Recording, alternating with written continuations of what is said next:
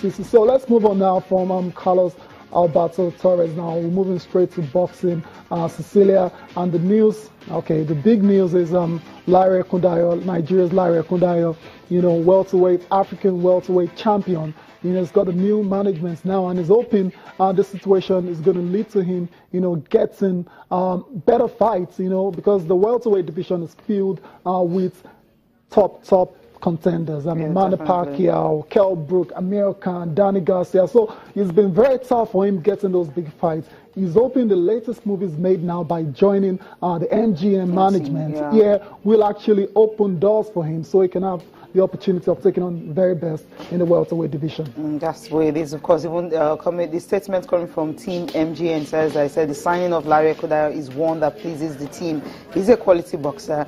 The name on his record at such an early stage of his career speaks volumes, and they're looking forward to an exciting new chapter mm. for him. He's 34 yeah. and he's gone unbeaten in most of his fights, but he's just African Boxing Union welterweight champion. champion. Yeah. So Esther wants to get into that big fight, that kind of a fight that's going to put him on that global mark. And that's the reason for this uh, signing with MGM. That's one of the global biggest brands you can think of when it comes to boxing promotion and all that. But mm. wish him all the best. It's definitely going to have an exciting chapter, you know, signing with MGM. And we just yeah. can't wait to see him, you know, getting those big fights and those big names That's we talk about in the welterweight division, which is really, really saturated right now. Uh, yeah. Big fights. exactly. getting those big fights and can be very tough. But hopefully, Cecilia, this move, you know, you know, brings him, you know, those opportunities so he can get to face the absolute best. And like I said, Cecilia is 11 and 0, you know, 11 fights, yeah. still not a lot, but then he's won everything and it shows he is a very good boxer.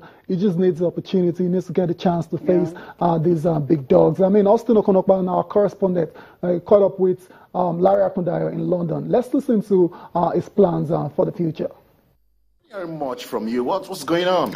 Um, career has been on hold for a bit, uh, but luckily I just got signed by one of the best in the world, if not the number one in the world right now, the MGM. So the career looks that look um, good again.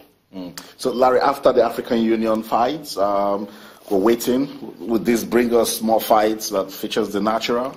Definitely, definitely. Um, with boxing, the boxing, the whole boxing and the um, business thing, you need to have the right people with the money and power. And the MGM, they've got everything. Larry, the last time I spoke to you in Nigeria, you've got so much passion to come back home, develop boxing because you know there's so much talent there. Um, that project still in the works?